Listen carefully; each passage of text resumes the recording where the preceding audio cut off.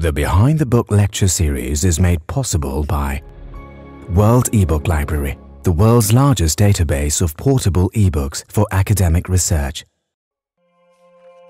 and the World Heritage Encyclopedia, the world's knowledge at your fingertips. The groundwork of the metaphysics of morals has never not been famous. It was an immediate success. We have the ability to choose what is right and what is wrong. To understand how we have that ability and the implications of that ability is what the groundwork sets out.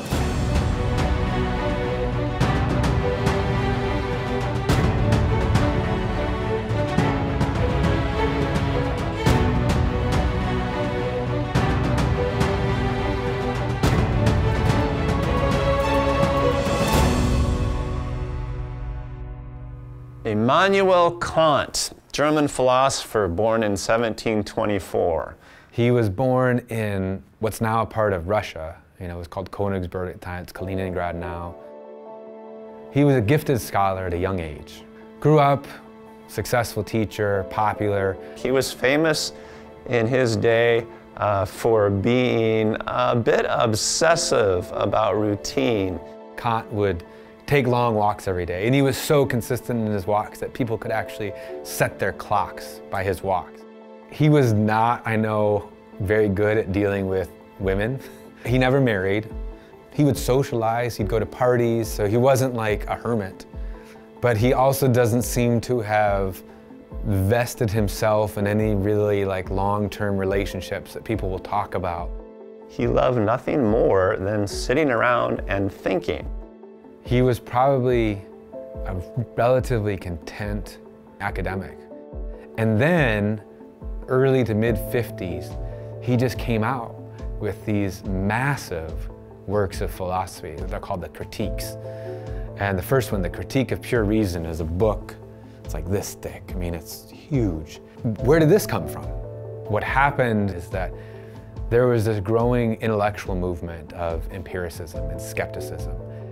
The charge led most prominently perhaps by a man named David Hume, who argued that really we cannot know anything as human beings because we only know the world through our own senses, our own perceptions, which are by nature subjective and fallible. It was philosophically hard to explain why we could trust our own reasoning. When he read the philosophy of David Hume, what he says is it awakened him from his dogmatic slumber. And in some sense, I think what happened is that he had this fire lit under him and he saw this threat to philosophy and even just our conception of ourselves.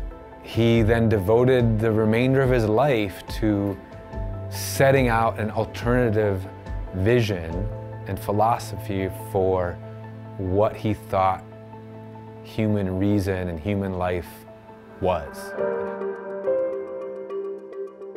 I think I first read Kant probably in high school.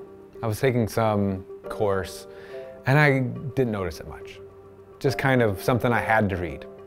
Read it again as an undergraduate. And I remember being really skeptical and thinking, wow, this, this Kant guy, he wasn't, he wasn't very bright, you know, and the kind of arrogance that you often have as an undergraduate. Came back to it as a graduate student I was fortunate to have a fantastic professor who just unlocked it. Kant begins by defining three areas of inquiry. The first, logic.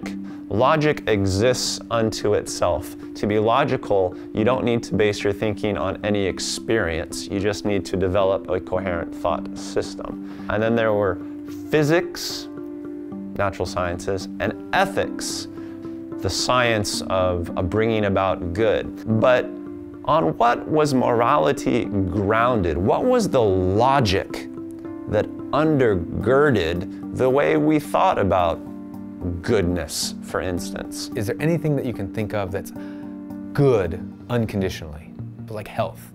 Well, health may seem like it's good unconditionally, but what if you're healthy but it allows you to be a really successful mass murderer? You know, like health isn't itself good. And eventually what he comes down to say is the only thing that's really good unconditionally, in and of itself, is goodwill, is willing and wanting good for other people.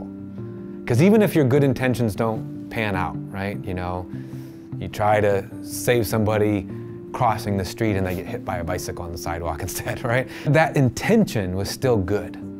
Kant recognizes that many times there's a disconnect between our choices and what happens in the world of sense. But he says that still that doesn't detract from the goodness of your choice. Whatever I do must flow from a motivation that I would like to be universal in all the world. This is why Kant remains relevant, because that tension between wanting to do good and then accidentally killing somebody that tears people apart. But Kant at least gives us some kind of mechanism for understanding why that tension exists and why we can both praise the person and hold them responsible at the same time. It's really making the case that human beings aren't just pinballs in the universe. I still come across people that think that we don't have any free will, it's just an illusion, right? Everything is just cause and effect within the universe. Kant does a great job of explaining why people think that way, but then he takes that extra step and say, but that can't be it. Because when it's time for you to decide, are you going to lie to someone? You make a choice for yourself. Kant would come to call the logical undergirding of moral thought the metaphysics of morals. It was sort of like physics. There was a science and a logic to it. Morality, if it were to be stable and trustworthy, must be based on an unchanging moral law as something that he called, very famously, the categorical imperative. You are being metaphysically moral if you act in such a way that you wish everybody in the world acted that way all the time. Treating another person is not a means, but as an end in themselves. Even if society would be better off, it's still wrong to treat them just as instruments for making people happy.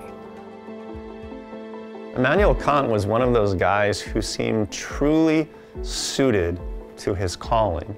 Immanuel Kant lived to be 80 years of age which in his day was very old, but he was publishing well into the final decade of his life.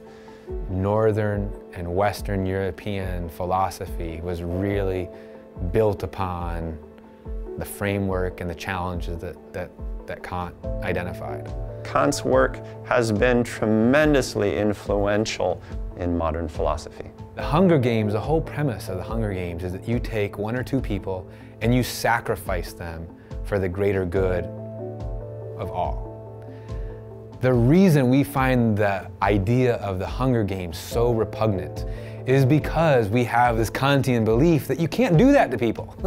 Today, perhaps more than in any age in human history, we need a groundwork in our morality.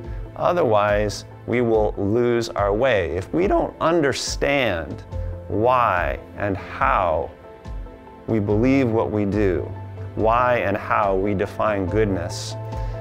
And in today's chaos of knowledge, we need Kantian fundamentals, categoricals, so that we can be the people that we say we want to become.